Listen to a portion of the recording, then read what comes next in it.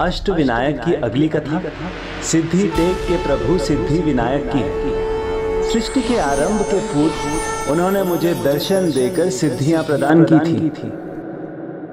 मुझे ये बताने की कृपा करें कि मेरे जन्म का उद्देश्य क्या है। शीघ्र आपको उसका भी ज्ञान हो जाएगा। इसके माध्यम बनेंगे वो जो इस आकाश गंगा के दूसरी ओर आपकी प्रतीक्षा कर रहे हैं और वो भी अपने होने का उद्देश्य आपके माध्यम से ही जानेंगे। संसार जिन्हें ब्रह्मदेव के नाम से जानेगा। के नाम से जानेगा। हे जन्मदाता हे प्रभु शीघ्र आकर मेरी रक्षा कीजिए। हे पालनहार तुरंत आइए मेरी रक्षा के लिए। पालनहार तो ये मेरा कर्तव्य है। मेरे होने का प्रयोजन है।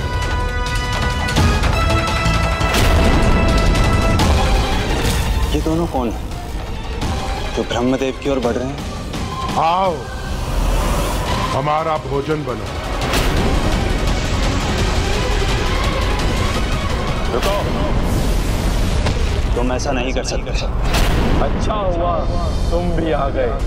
अब दोनों भ्राताओं में। भोजन बांटना नहीं पड़ेगा।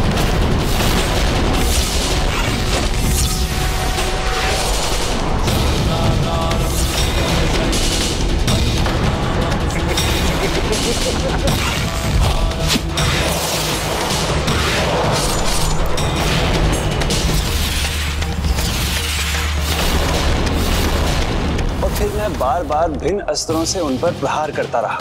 वो आहत हुए। किंतु फिर कुशल भी हो गए और धीरे धीरे उन पर वार करना कठिन होता गया।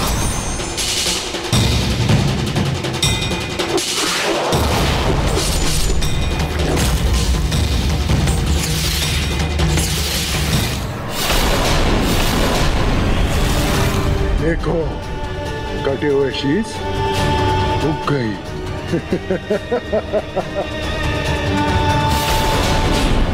इनका रहस्य क्या है? क्या कारण है कि मैं इनका अंत नहीं कर पा रहा हूँ?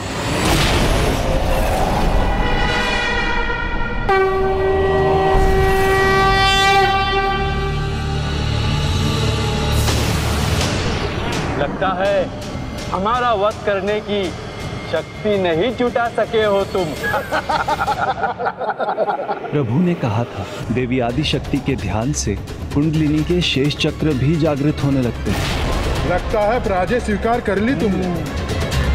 हे देवी आदि शक्ति मुझे पूर्ण रूप से अपनी कुंडलिनी जागृत करने में सहायक बनिए और कृपा कर मुझे संकेत दीजिए मैं इन दोनों का अंत कैसे करूँ? पालनहार क्या कर रहे हैं? ये रुक क्यों गए? अपनी रक्षा क्यों नहीं कर रहे हैं हे?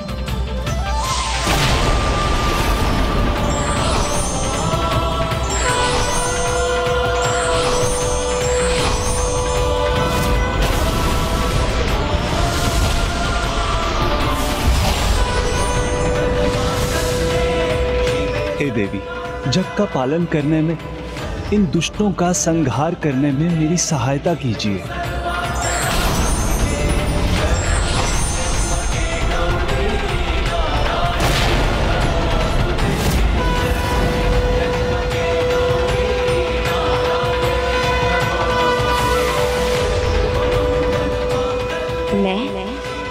महामाया, देवी आदि शक्ति की ही स्वरूप हूँ।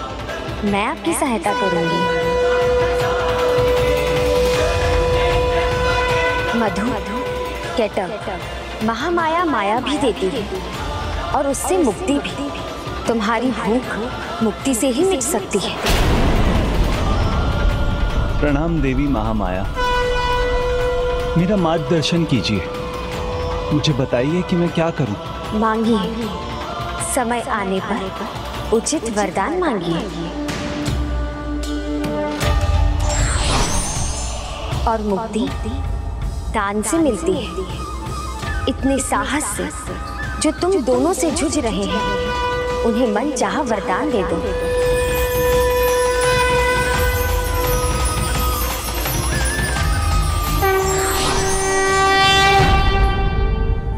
तुमने इतने प्रयास किए और हर बार असफल रहे। फिर भी पराजय स्वीकार नहीं की। इसीलिए हम तुम्हें एक मनचाहा वरदान देना चाहते हैं। संकोच मत करो। जो मांगना चाहते हो मांगो। तो वरदान दो मुझे। तुम्हारी मृत्यु मेरे हाथों ही होगी। तथास्तु।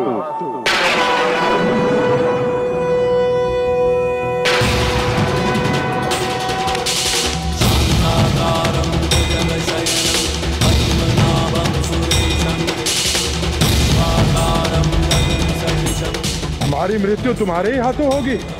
किंतु यहाँ नहीं, इस अनंत स्थान पर नहीं। तुम हमारा वध वहीं कर सकोगे, जहाँ जल नहीं होगा।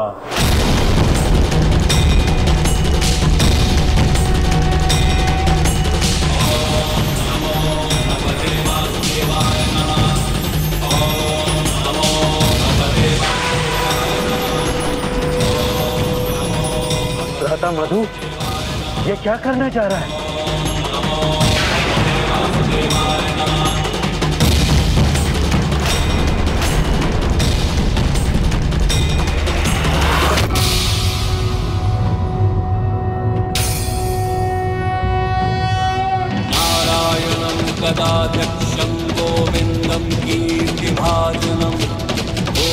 अब ना तुम अनंत स्थान में हो ना अनंत सागर में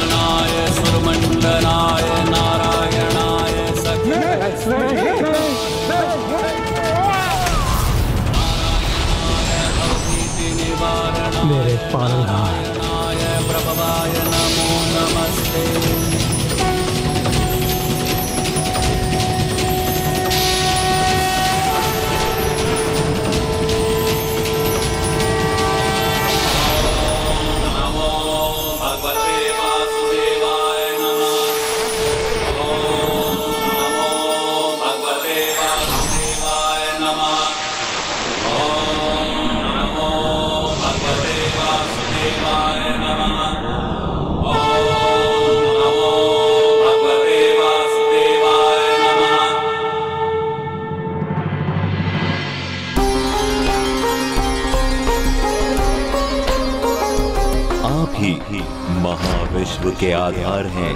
संसार की उत्पत्ति का बीज आपसे जन्मा है। सुंदरता की प्रतीक आपकी इस रचना को पृथ्वी कहा जाएगा। सृष्टि इसी पर आधारित होगी। यही जीवों की उत्पत्ति होगी। आप ही उसे रचेंगे और सृष्टि के रचयिता ब्रह्मदेव कहलाएँगे। मेरे होने का उद्देश्य देकर आपने मुझे कृतार्थ कर दिया। पालनहार। और इस प्रकार मैं जगत का पालनहार बना। और ब्रह्मदेव उसके रचयिता और उन्होंने सृष्टि को रचा। और फिर पृथ्वी पर यहाँ सिद्धि टेक पर आपको सिद्धि प्रदान करने वाली प्रतिमा को आपने यहाँ स्थापित किया।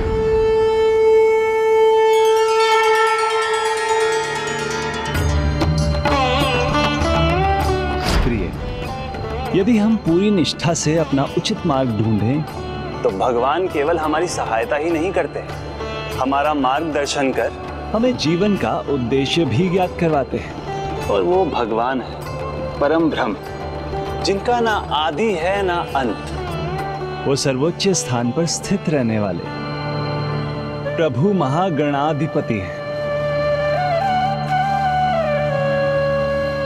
स्वामी सृष्टि के आरंभ से भी पहले, प्रभु ने ही आपको सिद्धियाँ देकर, आपको आपके उद्देश्य से परिचित कराया।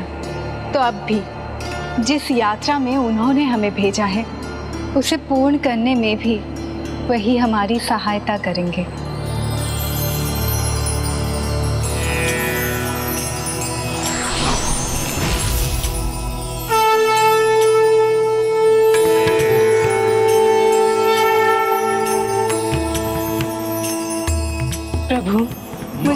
आशीर्वाद दीजिए। मैं शीघ्र ये यात्रा संपन्न करूँ और मुझे माँ कहकर पुकारने वाली। मेरे मातृत्व को पूर्ण कर, मेरी ममता का सुख भोगने वाली। संतान मुझे भी शीघ्र मिले। तथास्तु तथास्तु। किंतु देवी माता पिता का संतान के प्रति बड़ा दायित्व होता है। संतान का मार्गदर्शन कर उसे योग्य बनाना। इसलिए देवी, आपकी माँ बनने की लालसा से आरंभ हुई इस यात्रा के अगले चरण में। मंदिरों की कथा से संसार को संतान का ध्यान रखने के लिए दो बहुत बड़ी सीख मिलेंगी। इसलिए अब आपको अपने अगले गंतव्य, बल्लालेश्वर मंदिर की ओर बढ़ना चाहिए।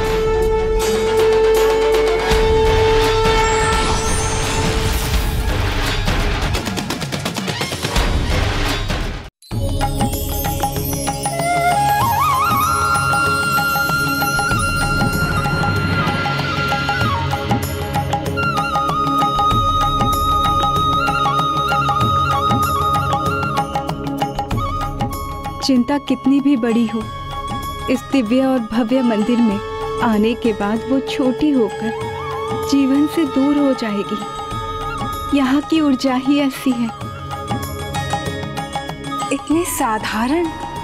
प्रभु की दिव्य आभा तो अनुपम है। है ना स्वामी? दिव्यता किसी बाहरी आवरण पर निर्भर नहीं करती प्रिय। सचमुच। सादगी में भी दिव्य हैं प्रभु। यहाँ तो इनका नाम भी साधारण है। बल्लाल।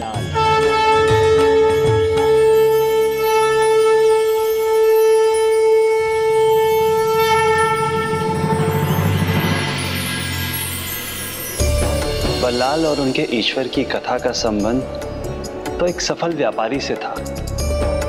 कल्याण।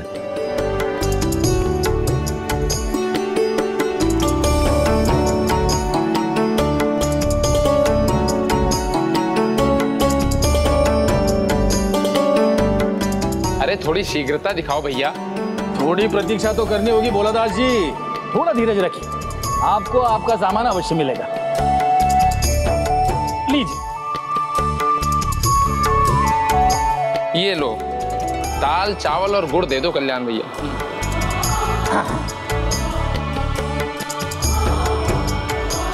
कल्याण जी अरे तोल थोड़ा इधर उधर होने दोगे या नहीं?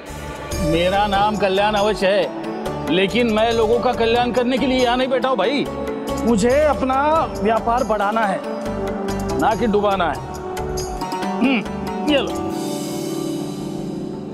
और कल्याण का व्यापार में सफलता का मंत्र है न एक मुद्रा अधिक लो न एक मुद्रा अधिक दो बस। इतना धन जोड़कर करोगे क्या कल्याण जी? और फिर आखिर है कौन तुम्हारे बाद? जो इस धन का लाभ भोगेगा। और फिर संतान होती तो इस परिश्रम का अर्थ होता ना? और फिर धन तो चंचल है। आज इसका तो कल उसका। और फिर जीवन का वास्तविक धन तो संतान ही है। लेकिन संतान को पालने के लिए भी तो धन चाहिए ना भोला दास तो पहले धन कमाया। अब ईश्वर की कृपा से संतान भी प्राप्त होगी। सत्य कह रहे हो कल्याण जी आशा का त्याग कभी नहीं करना चाहिए।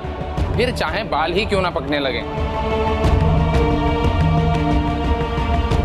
अरे इंदुमती तुम यहाँ? इंदुमती भाभी यहाँ? यदि मुझे ज्ञात होता कि भाभी यहाँ है तो मैं ऐसे कड़वे बोल कभी ना बोलता। आप अपने काम में जितनी निष्ठा और अनुशासन का परिचय देते हैं उतनी भोजन में कहा करते हैं? इसीलिए मैं स्वयं ही भोजन ले आई। फिर तो अब भोजन के बाद ही व्यापार होगा। अब कुछ समय बाद आई। लेकिन कल्याण भाई मेरा वो गुड़ तो दे दो।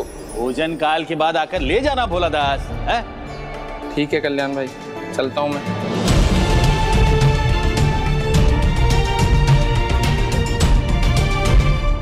और भोला और अन्य किसी की बात का बुरा मत मानना। कहने वाले तो कहेंगे मुझे उनकी कोई चिंता नहीं। चिंता वो करेंगे जिनको चिंता करने की आवश्यकता है। आप क्यों करेंगे? सही है। मैं क्यों करूँ?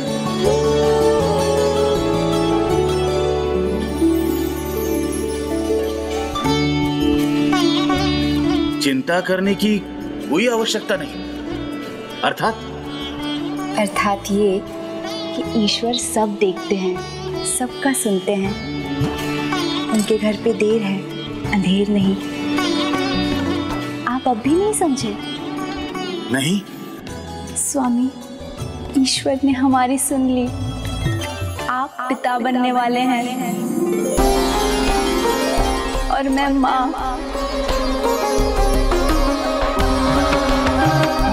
मैं मैं पिता बनूँगा? सच कह रही हो ना हिंदुमती? सच। मैं मैं पिता बनने वाला हूँ। हाँ हाँ मैं मैं पिता बनूँगा। अरे अरे भैया। अरे अरे ओ भोलादास अरे कहाँ जा रहे हो? मुँह मीठा नहीं करोगे क्या? घुट नहीं लोगे? अरे कल्याण भैया भी आपने ही तो मुझे लौटाया था। भूल गए क्या? अरे वो सब भूल जाओ आओ शीघ्रता करो। आओ आओ जल्दी आओ। अच्छा आता हूँ भैया आता हूँ। ये लो ये लो ये गुड़ लो। अरे झोला खोलो ये लो। और ये ये चावल भी लो। यही चाहते थे ना तुम? सुनो ईश्वर के घर में देर है अंधेर नहीं सच्चे मन से मांगो तो सब कुछ मिलता है। अरे लो और लो देख क्या रहे हो? लो झोला खोलो। और घर जाके भाभी जी से कहना कल्याण भैया ने कहा है तुम्हारे लिए खीर बनाए। जाओ जाओ। व्यापार का नियम होता है कल्याण भैया। ना अधिक दो और ना अधिक लो। अभी तो आपने समझाया था मुझे। फिर ये अचानक इतना बड़ा बदलाव? धन कमाने की लालसा मिट गई है क्या? अरे नहीं भाई वो तो और ज़्यादा गुना बढ़ गई है। मैं बहुत धन कमाऊँगा बहुत धन कमाऊँगा। क्योंकि जीवन का सबसे बड़ा धन मुझे मिलने वाला है। मैं मैं पिता बनने वाला हूँ। अरे लखन भैया मैं पिता बनने वाला हूँ। भैया पिता पिता बनने वाला हूँ मैं। मैं पिता बनने वाला हूँ। लखन भाई पिता बनने वाला हूँ मैं। ये ये ये लो सबको खुश करेगा। सबका मुँह मीठा करेगा। ये लो ये लो गुड लो। लो जी भर के लो। लो लो तुम भी लो लो ये चावल। अरे संभल कर कल्याण भैया संभल कर अरे अपने आनंद को इतना मत बढ़ाओ कि पूरी दुकान ही लुट जाए। अरे लुटेगी नहीं। आने वाले संतान के भाग्य से और भी धन बढ़ेगा बहुत बढ़ेगा। संतान प्राप्ति का आनंद कुछ ऐसा था कि वो कल्याण जो अधिकता में विश्वास नहीं रखता था अब सबको दोनों हाथों से सब कुछ बांट रहा था। वो बड़ी ही समझदारी का परिचय दे रहा था। समझदार होने का अहंकार कभी कभी जीवन का विकार बन जाता है देवी। कभी कभी व्यक्ति बड़ी भूल कर बैठता है और ऐसी ही भूल कल्याण भी करने वाला था। अरे कल्याण भैया तुम्हारा झपकी लेने का समय हो गया। भैया इससे पहले कि तुम्हारी आँख लगे मुझे मेरा सामान दे दो। आ, अभी नहीं बोला दास। अब सूर्यदेव भी सर पर आ गए हैं। निद्रा का समय हो गया। और तुम तो जानते हो भोला दास। अनुशासन मेरा सबसे बड़ा गुण है। तो थोड़ी समय बाद अब हैं? अरे अरे कल्याण भैया उचित है। किंतु अनुशासन कहीं बढ़कर शासन ना बन जाए। तुम्हारी संतान ये बात समझ पाएगी या नहीं, ये तो भविष्य ही बताएगा। अरे मेरा पुत्र अनुशासन भी मानेगा और मेरा शासन भी। मुझसे भी अधिक सफल होगा वो।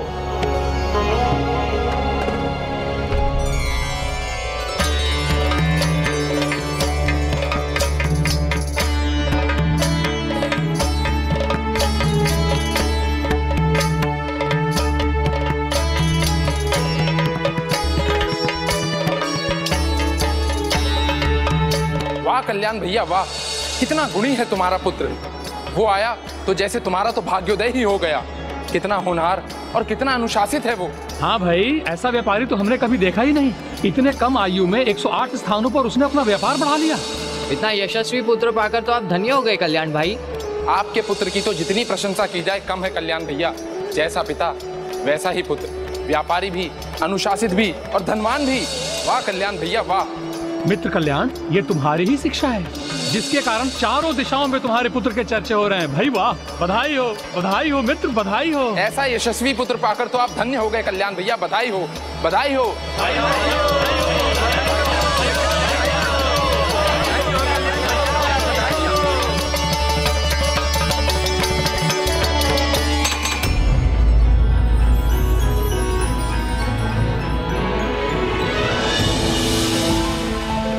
कितना सुंदर स्वप्न था।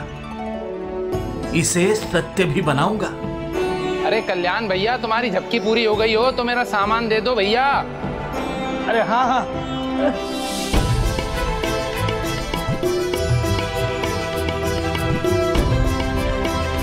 हाँ हाँ ले लो भोलादास। आओ आओ। आता हूँ भैया आता हूँ। लाओ अब हमारा सामान हमें दे दो। क्या हुआ? इतने आनंदित क्यों हो भाई? अरे क्यों ना हो आनंदित? मेरा पुत्र मुझसे भी बड़ा व्यापारी बनेगा और मैं सुख और समृद्धि में विश्राम ही विश्राम करूँगा। स्वामी पेड़ के लगते ही फल की इच्छा करना क्या उचित है? उचित और अनुचित का भेद करना तो व्यक्ति पर निर्भर करता है। कोई भी कार्य समय आने पर ही शोभा देता है और कल्याण अभी से ही अपने पुत्र को शिक्षा देने और व्यापार सिखाने की तैयारी में जुट गया था।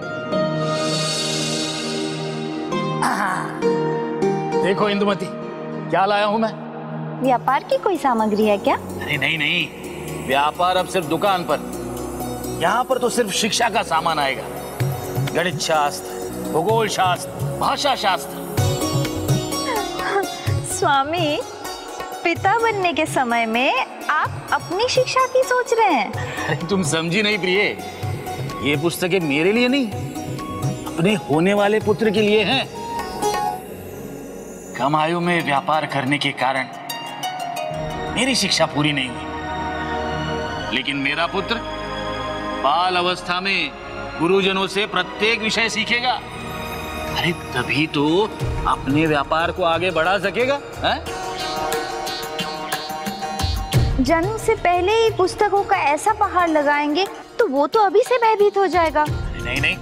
भयभीत कैसे होगा? मेरा कल्याण का पुत्र है। वो तो बड़ी प्रसन्नता से सब सीखेगा। वो सब ज्ञान सीखेगा जो एक व्यापारी को चाहिए। देखा पुत्र अपने पिताजी को कितने उत्साहित हैं।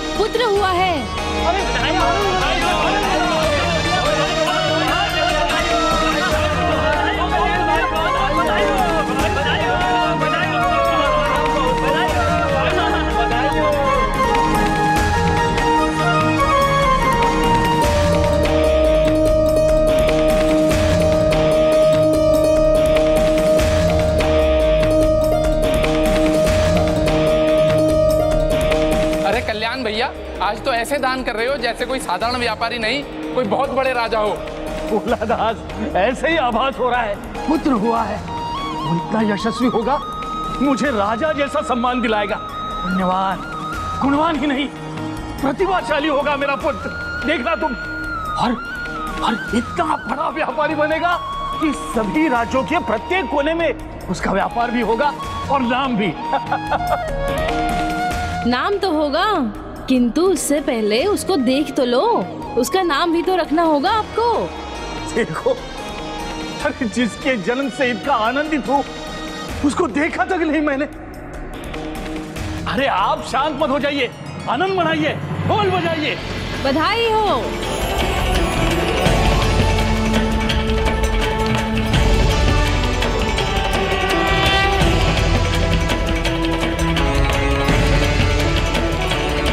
इंदुमती तुमने मेरे जीवन का सर्वश्रेष्ठ उपहार मेरे पुत्र को मुझे देकर मुझ पर बहुत बड़ा उपकार किया है। बहुत धन्यवाद। अब इसे शिक्षा देकर इसके और हमारे स्वर्णिम भविष्य के लिए इसे तैयार करना मेरा दायित्व है। किसी के भी जीवन में बचपन का आनंद अनोखा होता है। इसीलिए वो युवा होने पर भी अपना बचपन फिर से जीना चाहता है। कल्याण ने अपनी महत्वाकांक्षा के कारण बल्लाल का बचपन ही छीन लिया। आयु से अधिक शिक्षा का बोझ उसके कंधे पर डाल दिया, जबकि माता पिता का धर्म और कर्तव्य है कि अपने पुत्र की पसंद का ध्यान रखें। किसी भी बच्चे का भविष्य कोई नहीं जानता। बल्लाल का भी भविष्य किसी को ज्ञात नहीं था।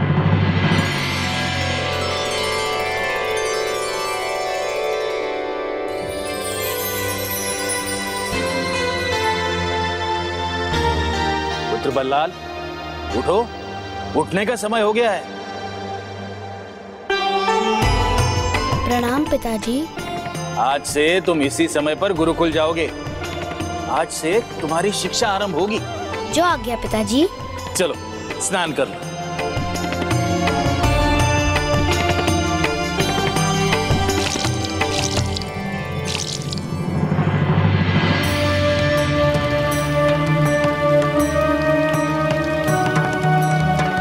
जल कितना ठंडा है। किंतु मैं कुछ कहूँगा तो पिताजी को बुरा लगेगा।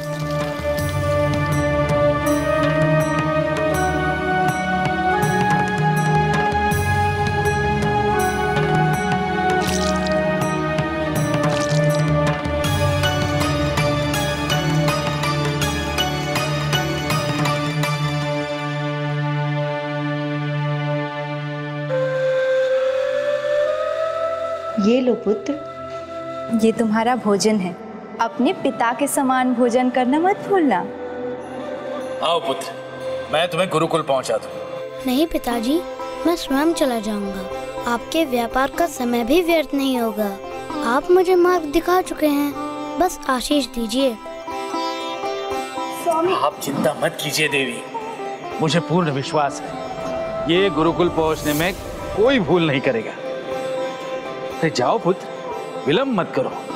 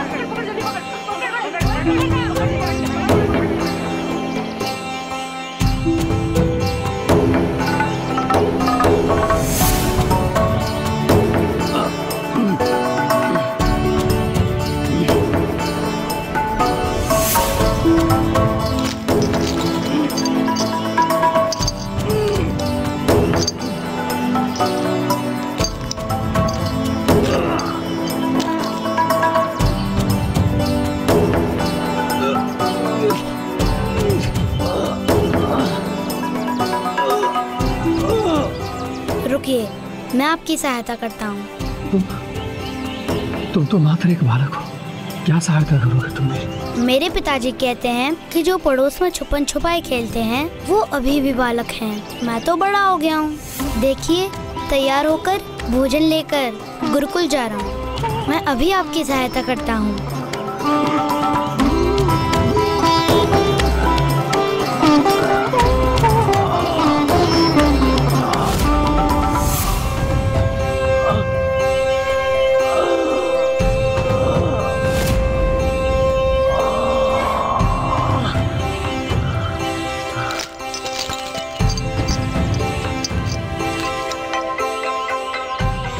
धन्यवाद पुत्र मेरी सहायता करने के लिए।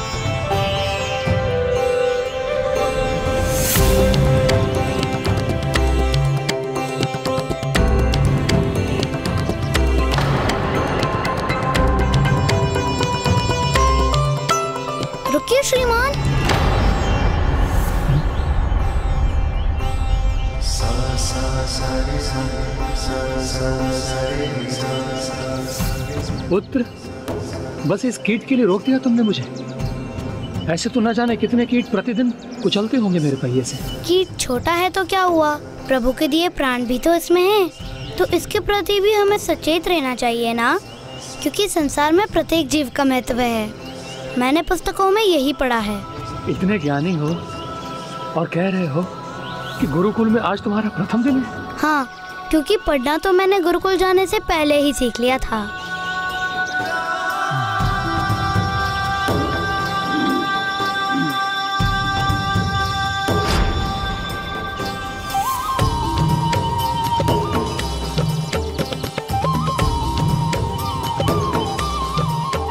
जाओ, तुम इस वृक्ष के नीचे सुरक्षित रहोगे।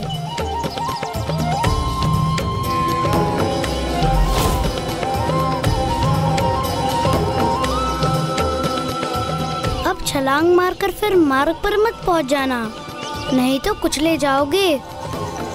अपना ध्यान रखना।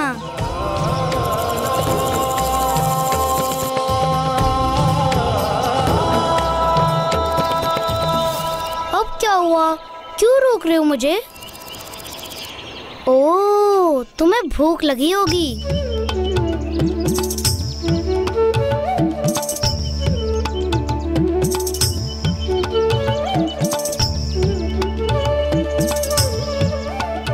लो, ये खा लो। इससे पहले कि तुम मुझे प्यास के कारण रोको, मैं तुम्हारे लिए जल ले आता हूँ।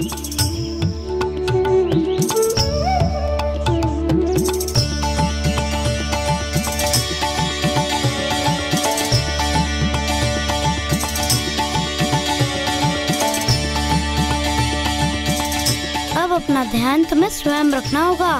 मैं जाता हूँ। उस दिन बल्लाल ने अनजाने में झिंगुर कीट को दुर्वा और जल दिया। किंतु उसे ये ज्ञात नहीं था कि वस्तुत ये दुर्वा और जल उसने प्रभु महागणाधिपति को अर्पित किया है।